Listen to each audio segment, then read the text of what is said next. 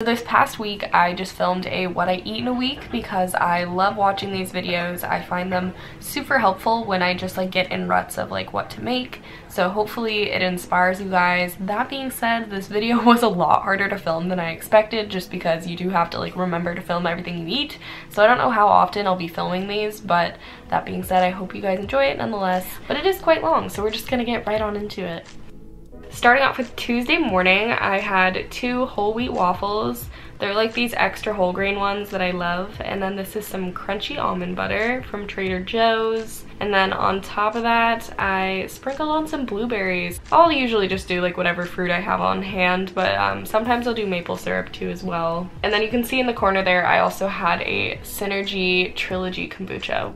For lunch, I had Trader Joe's Mediterranean hummus and chips, and this is because I have class at 1 until 4 on this day, so I usually, like, am not super hungry enough to eat lunch by the time class starts, so I'll, like, basically eat lunch. But anyways, so that's what I ate, and then when I got home from class, I had some tea and ginger snaps. These are from Trader Joe's.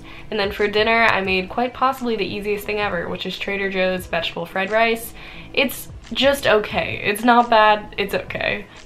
Wednesday morning, I started off with some oatmeal and then I just topped it off with brown sugar and bananas and pumpkin seeds, which I bought a large container of and I've just been kind of throwing on everything, which is really just tasty. They're, they're so crunchy and like they just add a nice flavor to kind of whatever. So that is what I ate. That's a very classic breakfast for me. I woke up pretty late on that day, so I ended up not really having lunch and just going straight to dinner because I went to the grocery store and bought a ton of things to make for dinner. So I bought some vegetables to make a curry with. Here you can see me prepping all the vegetables. I usually like to chop them all up first and then put them in a big bowl so that way I can just kind of throw them all in the pan at the same time. This was actually the second time I've made this curry recipe. I just changed it up a little bit, used different vegetables, and it seriously was like the best I've ever had. So I'll definitely write it below and like the things that I changed about it but it's also just super easy. You really just put it in a pan, cook it for a while, and uh, you're good to go. I also use this really good curry powder from Penzeys, which my mom loves that brand, and she got it for me, so I will also link that below because it was not in the recipe. And then I probably ate about twice the size of that serving because it was so good and I was pretty hungry and I just had it with basmati rice. And then I had some vegan Ben & Jerry's fudge brownie ice cream, which is dangerously good. Thursday morning I wanted some avocado toast, but while my toast was toasting, I ate a banana because sometimes I do that when I can't wait, I just start eating. And then on top of the avocado toast, I put some red pepper flakes and arugula, which is my favorite combination for avocado toast. Also, the bread I used is the whole grain loaf from Trader Joe's, and I slice it myself and keep it in the freezer so I can have it for a longer amount of time. For lunch on Thursday, I had more of my curry because as you can tell, it made quite a lot and so I had that serving and then I probably ended up eating more as well. And I actually topped it with some arugula after I microwaved it which was a great decision. Very good. Would have been also good with spinach. Then once I was in class I got a mocha from Starbucks with almond milk because thankfully their mocha recipe is vegan so that was good. Then once I got home I wanted to make something quick and kind of comforting because I was stressed out and I had all those carrots left over from my curry. So I cut one up and put it in boiling water with this protein protein plus pasta, which is my favorite.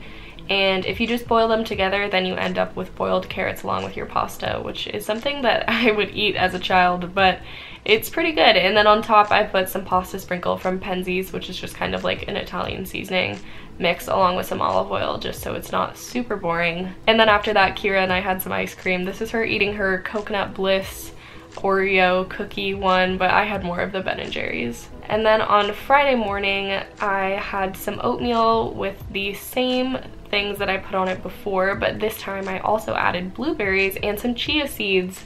So that is a little, little tiny bit more interesting, but overall I usually just like to combine some like sweet flavors with maybe something crunchy. For lunch, I had leftover noodles from the night before because I ended up with about half of that left.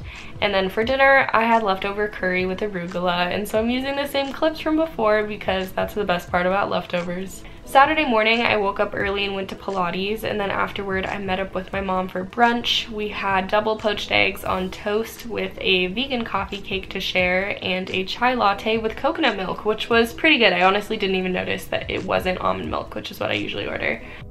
Once I got home, I was pretty much filming all day, so I just had a snack of a fruit bowl with chia granola, but this was after I'd eaten some. So there was more in the bowl previously, but that's what I was eating. And yes, I eat it dry because I don't really like almond milk. Halfway through filming, I had some Mediterranean hummus with chips, which as you can tell is my usual go-to replacement for lunch if I don't have enough time to make lunch because it is filling and hummus has chickpeas, so it has protein in it, and it's just like, it's just so good. I love that hummus. For dinner, I was determined to try out a new recipe, so I was making some lentil soup, which I thought was pretty good. Lentil soup is one of my favorite foods.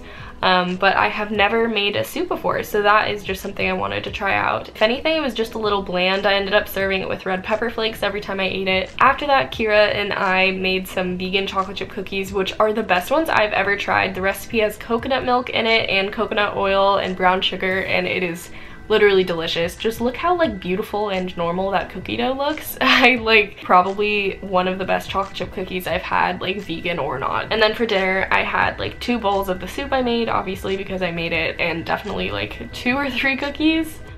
Sunday, all my roommates were up at the same time, so we made brunch together and we had avocado on toast with a fried egg and arugula, and this time we used sourdough toast instead of the wheat one from before. And we also grilled up some hash browns because Sundays are a day for hash browns. For lunch, I had more of my soup with some sourdough toast again, and that was delicious, I must add. For dinner, we went to this vegan restaurant called Seabirds Kitchen, and I got these purple potato taquitos and a fried avocado taco, and it was genuinely delicious. So that is everything I ate this week. I hope you guys enjoyed it. Please be sure to let me know what you thought below. I also definitely accidentally left out some things, as you could tell. I tend to eat snacks here and there and things like that that it was kind of hard to keep track of. But for the most part, I'd say it's pretty accurate. Thank you so much for watching, and I will see you all very soon. Bye, guys!